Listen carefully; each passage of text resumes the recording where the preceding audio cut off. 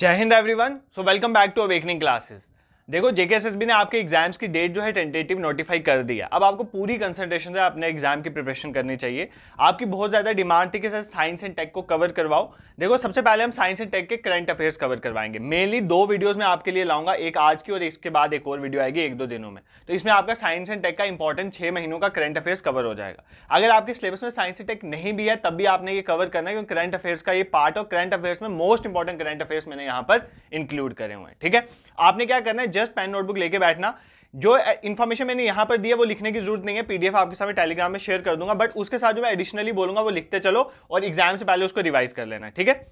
इस पीडीएफ को मैंने डिफरेंट पार्ट्स में डिवाइड कर दिया। जैसे स्पेस सेक्टर अलग बना दिया है हेल्थ अलग बना दिया हुआ है डिफेंस अलग बना दिया हुआ है कंप्यूटर अलग बना दिया तो उसके रिलेटेड एक एक करके हम कवर करेंगे। सबसे इंपॉर्टेंट सेक्शन हमारा स्पेस का तो सबसे पहले स्पेस को कवर करेंगे। तो सबसे पहला आ जाता है हमारा गगनयान मिशन देखो, गगनयान मिशन क्या है? देखो, इधर ही देखो, इसरो का फ़र्स्ट मैंड मिशन है। मतलब इसरो अपना पहली बार कुछ पर्सन को कहाँ पर भेज रहा है? स्पेस में भेज रहा है। ठीक है? मेनली हम कहाँ पर भेज रहे हैं? लो अर्थ ऑर्बिट में। कहाँ भेज रहे हैं? लो अर्थ ऑर्बिट में। मतलब 400 किलोमीटर तक की रेंज में हम क्या भेज रहे हैं? अपने कुछ पर्सन को भेज रहे हैं, कहाँ पर? स्पेस में भेज रहे हैं। ये इसरो का पहला मैंड मिशन है, ये आपने याद रखना ठीक है?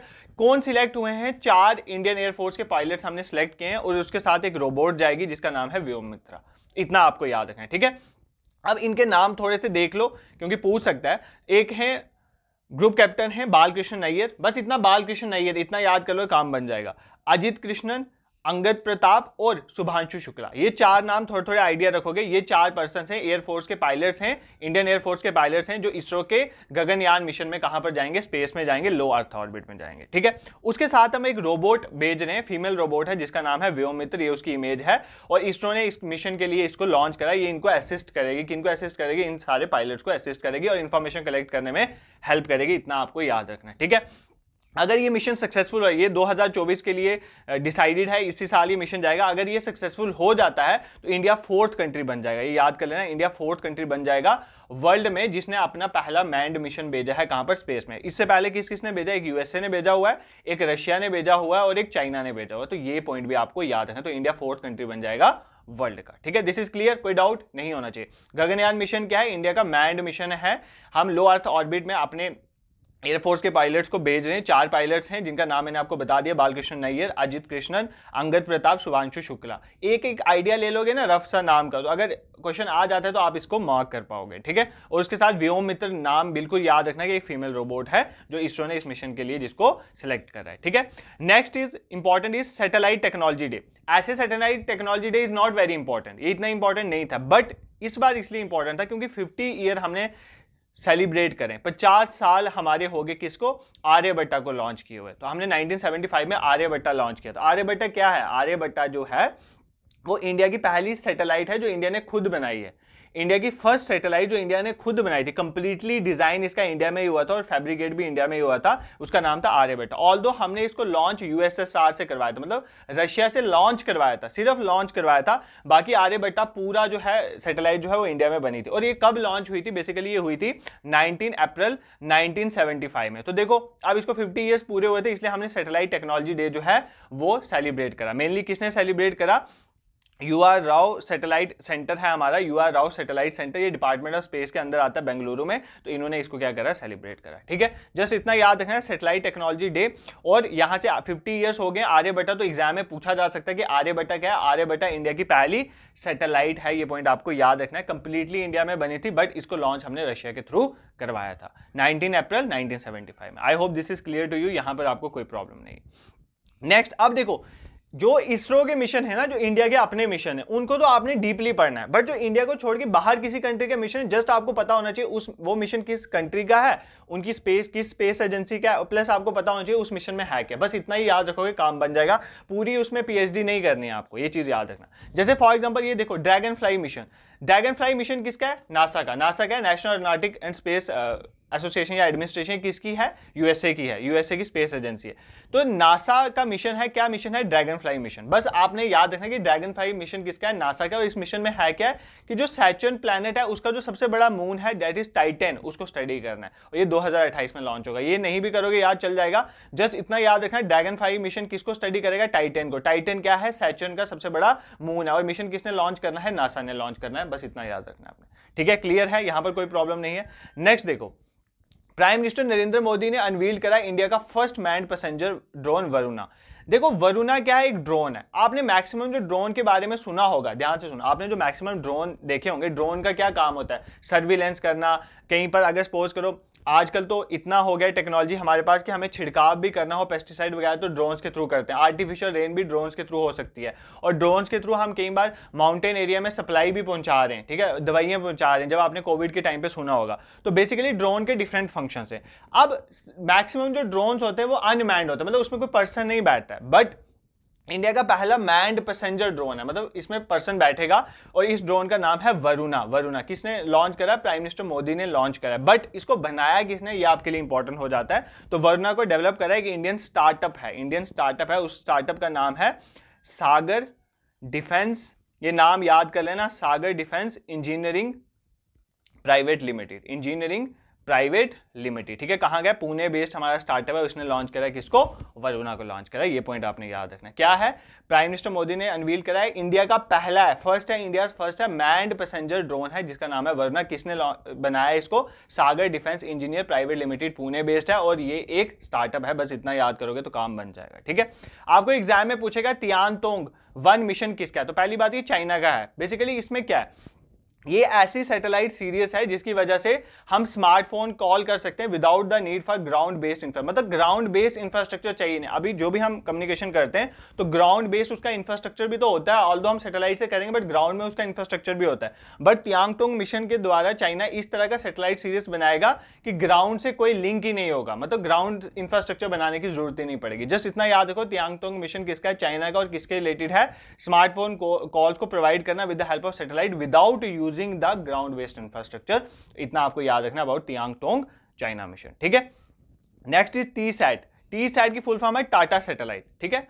T sat one A basically क्या है? ये एक सैटेलाइट है जिसको, ध्यान से सुनो एक सैटेलाइट है जिसको स्पेस में डिप्लॉय कर दिया गया। अब ये इंडिया की पहली इंडिजीनियसली डेवलप देखो इंडिया की पहली इंडिजीनियसली डेवलप है तो ये आपके लिए इंपॉर्टेंट हो जाती है। और ये कैपेबल है ऑफ़ सब मीटर रेजोल्यूशन ऑप्टिकल इमेजिंग मतलब ध्यान से सुनो।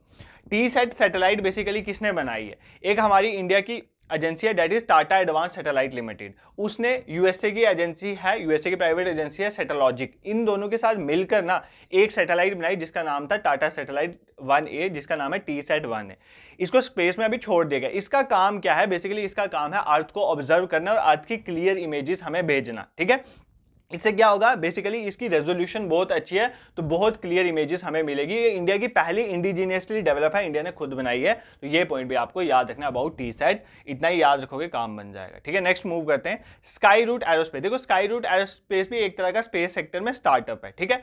इन्होंने टेस्ट फ़ाइल करा है स्टेज टू स्टेज टू मतलब कलाम टू देखो क्या है? देखो स्काई रूट एरोस्पेस एक क्या बना रहा है? विक्रम वन। विक्रम वन क्या है basically Vikram one Skyroot Aerospace एक मल्टी स्टेज लॉन्च व्हीकल है। मतलब एक रॉकेट काइंड ऑफ़ बना रहा है। मल्टी स्टेज लॉन्च व्हीकल बना रहा है विक्रम वन। कौन बना रहा है? विक्रम साराभाई के नाम पे कौन बना रहा है? स्काई रूट ठीक है, ये एक three stage solid fuel based rocket है। इतना नहीं याद रखना है, बस इतना याद रखो। विक्रम वन क्या है? एक थ्री स्टेज रॉकेट है। कौन बना रहा है? Skyroot Aerospace. उसकी जो स्टेज टू है ना, इस विक्रम रॉकेट की जो स्टेज टू है ना, इस स्टेज टू का नाम है कलाम 250 इसको इन्होंने टेस्ट फायर किया है रिसेंटली इसलिए ये न्यूज़ में था, ठीक है? तो हमारा करंट अफेयर बन जाता। आपने जस्ट इतना याद रखना है, विक्रम वन जो अगर आपको एग्ज़ाम में पूछे, ये क्या है? विक्रम वन जो है एक मल्टी स्टेज लॉन्च व्हीकल है। बेसिकली ये नियर अबाउट 300 किलो का सामान उठाकर लोअर अर्थ ऑर्बिट में छोड़ सकता है। इसको किसने लॉन्च करा? इसको किसने बना रहा है? इसको Skyroot aerospace Hyderabad based जो है एजेंसी वो बना रही है। और इसके जो स्टेज टू है ना, उसका नाम है कलाम 250 तीन स्टेज है ना तो स्टेज टू का नाम है कलाम 250 इसको सक्सेसफुली टेस्ट फायर कर दिया है। इतना ही आपका न्यूज़ था, ठीक है? दिस इज़ क्लियर यहाँ पर कोई प्रॉब्लम नहीं। ये कुछ पुरानी न्यूज़ है बट इंपॉर्टेंट है कल्पना चावला सेंटर की। एग्ज़ाम में पूछी जा सकती थी, इसलिए कवर कर दी। कल्पना चावला सेंटर बनाया गया है रिसर्च के लिए। रिसर्च चाहे स्पेस साइंस और टेक्नोलॉजी में अगर आप रिसर्च करना चाहते हो, उसके लिए कल्पना चावला रिसर्च सेंटर बनाया गया। कहाँ पर बना, ये याद रखना, चंडीगढ़ यूनिवर्सिटी में। इसको इनागोरेट करा था डिफेंस मिनिस्टर राजनाथ सिंह जी ने। बहुत पुरानी न्यूज़ है बट इंपॉर्टेंट है एग्ज़ाम में पूछी गई है, इसलिए यहाँ पर डाल दी, ठीक है? तो कल्पना चावला सेंटर जो है रिसर्च के लिए स्पेस और साइंस टेक्नोलॉजी में किसने इनागोरेट करा है? डिफेंस मिनिस्टर राजनाथ सिंह जी ने कहाँ पर? चंडीगढ़ यूनिवर्सिटी में। This is all about your Kalpana Chawla research centre next देखो। India first rocket facility to make three D printed engine launch at Chennai देखो इंडिया की पहली ऐसी रॉकेट फैसिलिटी है जो क्या बना रही है? थ्री डी प्रिंटेड इंजन तो थ्री डी प्रिंटेड इंजन बना रही है कहाँ पर? चेन्नई में। अब देखो, ये भी एक हमारा प्राइवेट स्टार्टअप बना रहा है। उसका नाम याद रखना, अग्निकुल कॉस्मोस। दो तो आपने नाम भूलने ही नहीं है। कौन? अग्निकुल कॉस्मोस और दूसरा Skyroot aerospace. Skyroot aerospace क्या बना रहा है? Vikram one.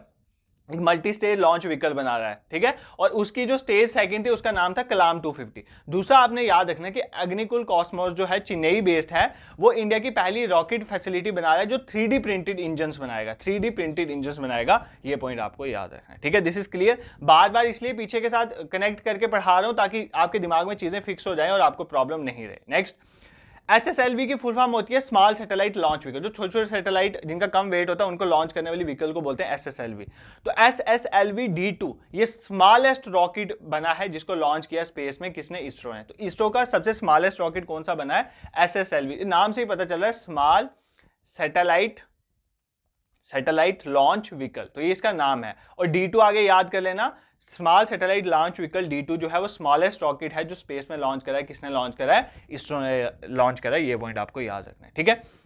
Next is Chang'e six exam में पूछेगा चैंग सिक्स जो मिशन है, वो किसका मिशन है? तो पहली बात ये चाइना नाम से पता चले चैंग सी मिशन क्या है? चाइना का मिशन लूनर मतलब मून की स्टडी के लिए मिशन है. देखो, जैसे हमने अपना चंद्रयान थ्री मिशन भेजा ना, उसी के रिलेटेड है. हमने चंद्रयान थ्री मिशन भेजा, वो कहाँ पर गया? मून के साउथ पोल पे गया. आपको पता है साउथ पोल पे मून पे गया और वहाँ से इंफॉर्मेशन हमारा लैंडर गया और रोवर गया. लैंडर विक्रम और प्रज्ञान रोवर हमारा गया और वहाँ से इंफॉर्मेशन कलेक्ट कर रहा है. चाइना ने इसी तरह चैंग सिक्स जो है, अपना लूनर मिशन भेजा है. ये south pole of the moon में ये भी गया।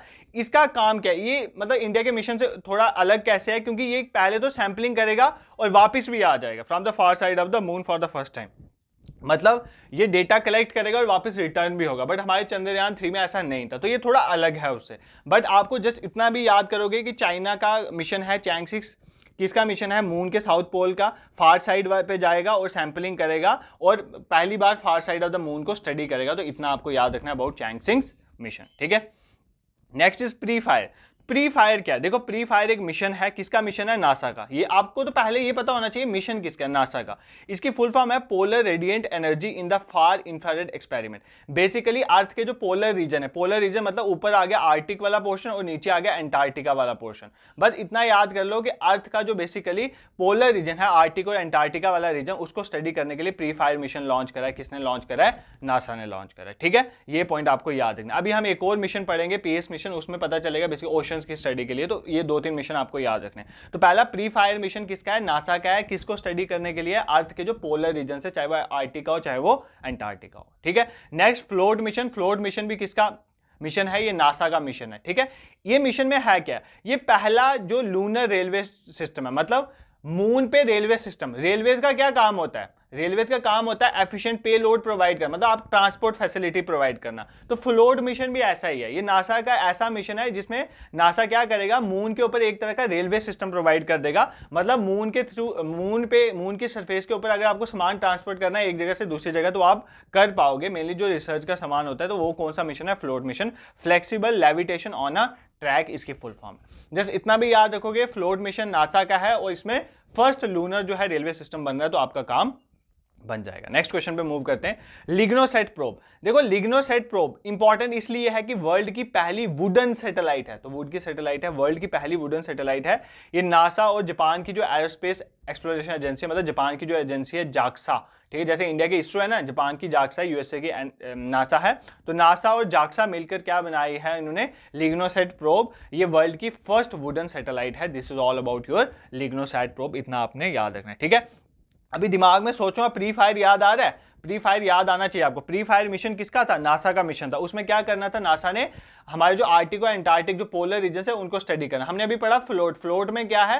फ्लोट भी नासा का मिशन है। इसमें नासा क्या करेगा? एक ट्रांसपोर्ट फैसिलिटी प्रोवाइड करेगा। एक railway station kind of provide करेगा कहाँ पर? मून पे। तो ऐसे आपको याद आना चाहिए। चंद्र चंद्रयान थ्री में जो व्योम मित्रा थी, वो कौन थी? फीमेल रोबोट तो ये आपको याद आना चाहिए। अगर आपको ये चीज़ें याद आ रही हैं, गगनयान सॉरी में गगनयान मिशन में, तभी आपका रिविजन अच्छे से हो पाएगी। नेक्स्ट इज़ त्रिष्णा सेटेलाइट, ठीक है? देखो, तृष्णा सैटेलाइट में इसको किसने बनाया? इसरो ने, हमारी इंडियन की एजेंसी ने और फ्रेंच की। इन दोनों ने मिलकर तृष्णा सैटेलाइट जो है, वो बनाई है। तीसरा सैटेलाइट जो है, वो 2026 बना रही है 2026 में लॉन्च होगी।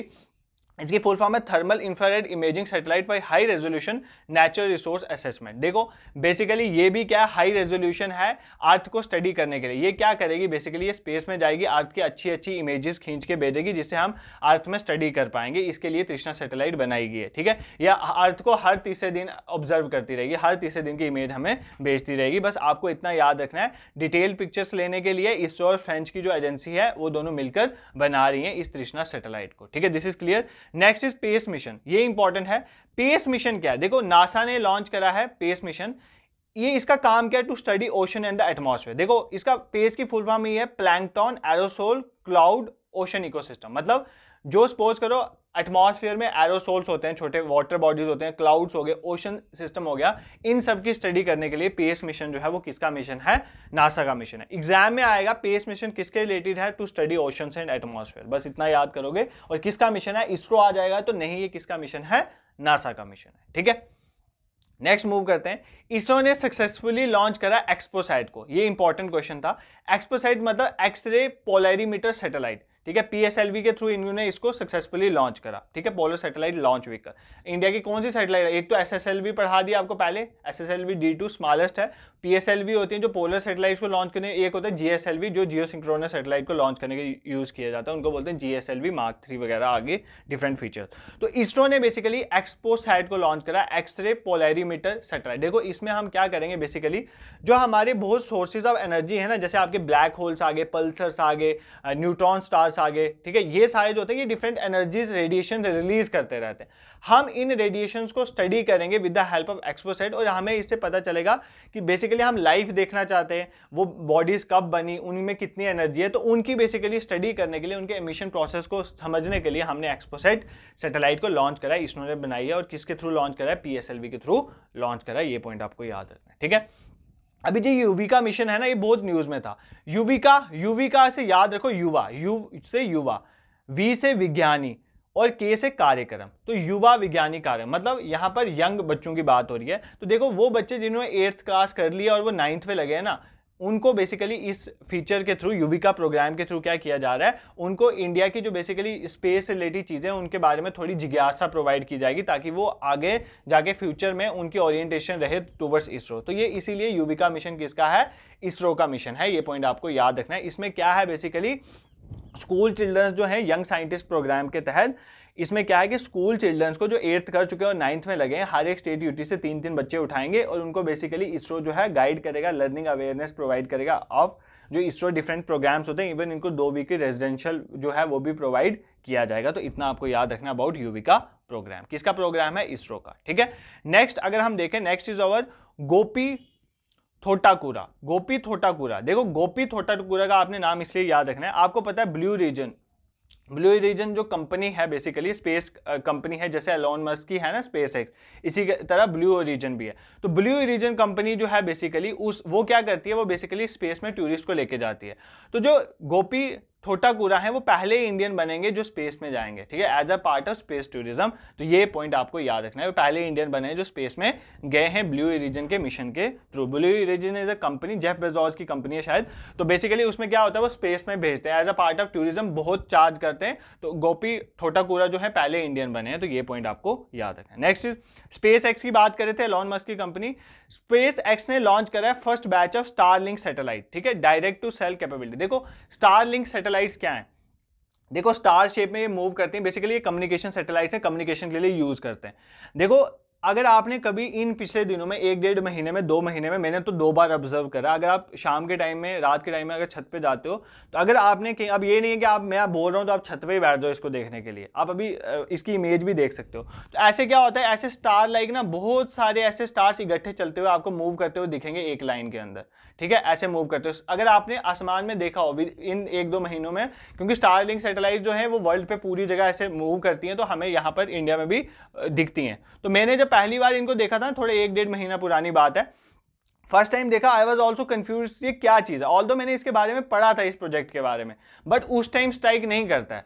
तो दो मिनट बात कर लेते हैं। वैसे भी आप बोर हो चुके होगे पढ़ पढ़ के। तो मैंने अपने फैमिली मेंबर्स को बुलाया, उनको देखा, हर एक पर्सन की अपनी अपनी थी। कुछ बोलते मिसाइल्स लॉन्च होगी। तब वो इसराइल वाला इशू चल रहा था ना तो वो बोलते वो मिसाइलें जा रही हैं। मेरे को तो पता था, वो इधर लिंक ही नहीं है। वो तो सारा वेस्ट वाला पोर्शन है। दूसरे कुछ बोलते ये भगवान या कुछ ऐसी है स्पिरिचुअल काइंड है, वहाँ पर जोड़ के। बट मैंने देखा उनका तो मैंने गूगल में सर्च करा, ये एक स्टारलिंक प्रोजेक्ट है, किसका प्रोजेक्ट है? बेसिकली एलॉन मस्क का। ये इन्होंने स्पेस कंपनी ने प्रोजेक्ट लॉन्च किया इसके थ्रू क्या है? वो कम्युनिकेशन प्रोवाइड करते हैं। जैसे यूक्रेन और जब रशिया की वार हुई थी यूक्रेन को भी इन्होंने इसके थ्रू ही क्या किया था? कम्युनिकेशन प्रोवाइड करा था। ठीक है? दिस इज़ क्लियर नेक्स्ट देखो।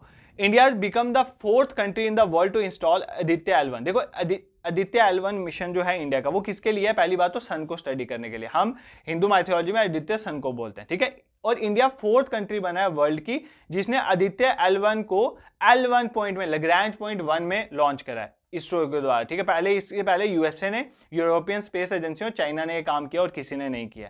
अब आपको पता होना चाहिए, वैसे एल वन है क्या? लेग्रैंड पॉइंट वन क्या? देखो, मैं आपको बता देता हूँ, एक तो याद रखना आदित्य एल वन मिशन किसके रिलेटेड है? सन के स्टडी के रिलेटेड किसने लॉन्च करा है? इसरो ने। कहाँ पर लॉन्च हुआ है? कहाँ पर प्लेस किया लेग्रैंड पॉइंट वन पे। ठीक है? और इंडिया फोर्थ कंट्री बना इतना आप याद करोगे। अब मैं आपको बता देता हूँ, थोड़ा आइडिया दे देता हूँ बेसिकली ये है क्या?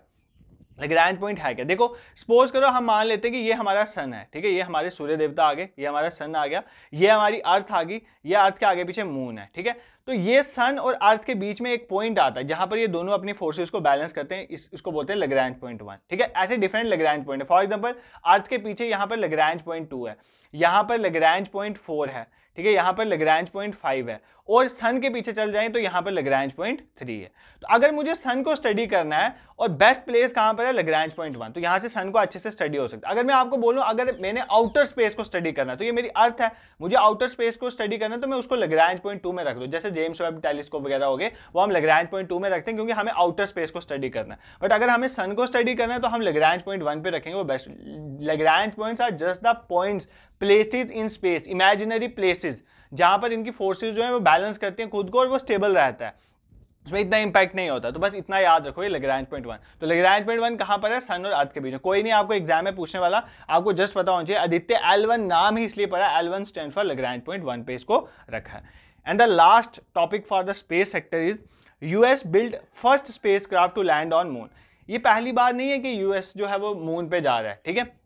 इससे पहले भी अपोलो मिशन के थ्रू सबसे पहले तो यूएस ही गया था। बट ये इनकी प्राइवेट कंपनी जो है वो लैंड हो रही है मून पे। उसका नाम है जो इनका फ़र्स्ट स्पेस जो मून पे जा रहा है, जो प्राइवेट कंपनी द्वारा बनाया गया, उसका नाम है ओडिसस ओडिसस इतना याद कर लो कि यूएसए की प्राइवेट कंपनी ने एक स्पेस क्राफ्ट बनाया जो कहाँ पर लैंड करेगा मून पे, उसका नाम है Odysseus this is all about your space sector देखो स्पेस सेक्टर में बहुत कुछ होता है।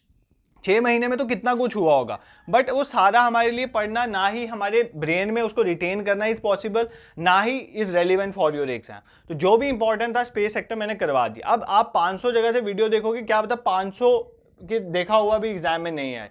ये इतना डायनेमिक होता है ना करंट अफेयर्स कि आप पढ़ भी लो, मे भी नहीं कवर हो। बट जो इंपॉर्टेंट था वो मैंने आपको करवा दिया, ठीक है? मुझे लगता नहीं है आपको इतनी मेहनत इस पर मारनी चाहिए और इस वीडियो के बाद। इसके बाद आप जस्ट अपना जो स्टैटिक पोर्शन है वो पढ़ो, बाकी पोर्शन है डायनेमिक पोर्शन पर इतनी मेहनत नहीं मारनी होती, ठीक है? और बाकी भी करंट अफेयर्स में करवा दूँगा। आज कंप्यूटर एंड सॉफ्टवेयर भी कवर कर लेंगे स्पेस और कंप्यूटर सॉफ्टवेयर दो पोर्शन हमारे हो जाएँगे, बाकी पोर्शन बाद में देखेंगे। देखो, बहुत सारे बच्चे बोल रहे हैं कि क्लासेस का क्या है? देखो ऑलरेडी आपके लेक्चर्स आ रहे हैं यार। कल जैसे ब्लड रिलेशन का आपको मैंने रात को डाल दिया। एक सिंगल वीडियो में पी वाई के थ्रू ब्लड रिलेशन पढ़ा दिया। उसके पहले ईडीएम फ़ेज़ तो जूनियर असिस्टेंट के क्लासेज हो गया, पटवारी क्या हो गया इवन फॉरेस्टर की क्लासेज चल रही हैं। तो आप देखो वो लेक्चर प्ले लिस्ट बनी है, उनको साथ साथ कवर करो। ठीक है? कवर करो और दूसरी बात, जो आप मॉक टेस्ट की बात कर रहे हो ना, बहुत सारे मुझे मैसेजेस आए, सर आप मॉक टेस्ट प्रोवाइड करो। मैं आपको बोल रहा हूँ, कहीं से मॉक टेस्ट लेने की ज़रूरत है मैं आपको OMR based mock test provide करूँगा। बहुत जल्दी प्रोवाइड करूँगा। बट मैं आपको चाहता हूँ कि थोड़ा एक बार आप पढ़ लो। दस पंद्रह दिन एटलीस्ट पच्चीस तक तो पढ़ लो ना।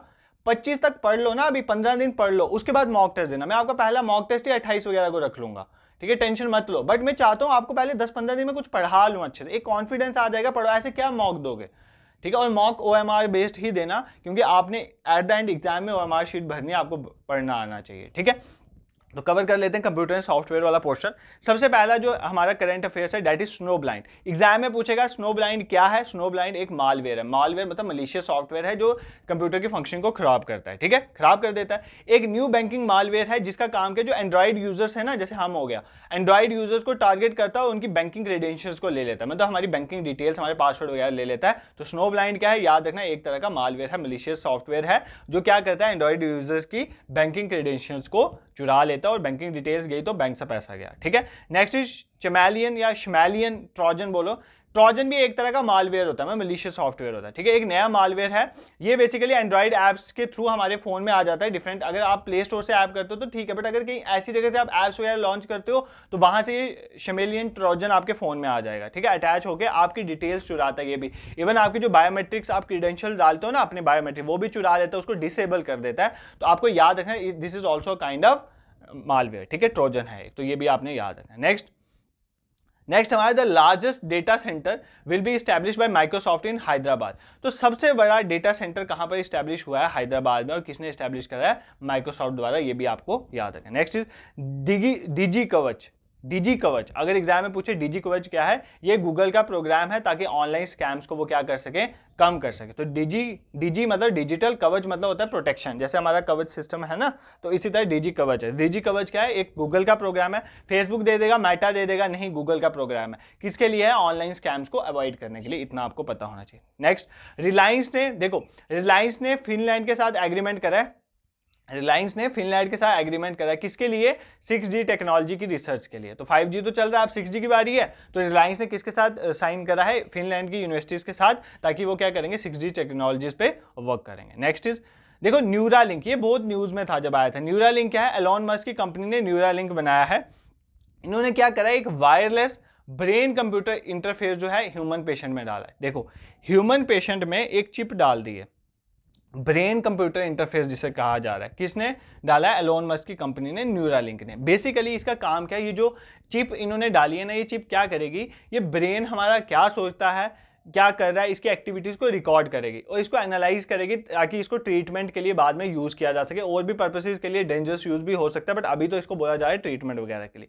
तो एलॉन मस्क की न्यूरा लिंक ने एक वायरलेस ब्रेन कंप्यूटर इंटरफेस जो है वो इंप्लांट करा है किसी ह्यूमन पेशेंट में, ये पॉइंट आपको याद रखना है। नेक्स्ट इज़ जुगलबंदी। ये बहुत न्यूज़ में है। जुगलबंदी किसने लॉन्च करा है? सबसे पहली बात माइक्रोसॉफ्ट ने लॉन्च करा है। जुगलबंदी है क्या? ए आई चैट बॉट है। ठीक है? चैट बॉट है। मतलब चैट कर सकते हो। जैसे आपने चैट जीपीटी का नाम सुना होगा तो ये मल्टीलिंगुअल है, ठीक है? रूरल इंडिया के लिए फॉर रूरल एरियाज़ में कोई है तो डिफरेंट लैंग्वेजेस में तो उनको कोई भी इन्फॉर्मेशन चाहिए तो उनको मिल जाएगी। बाईस हमारी ऑफिशियल लैंग्वेज उसमें से दस तो ये कवर कर चुका था अभी तक। अभी मे भी इसमें और भी ऐड कर दी गई होंगी। तो जुगलबंदी के बारे में आप याद रख सकते हो।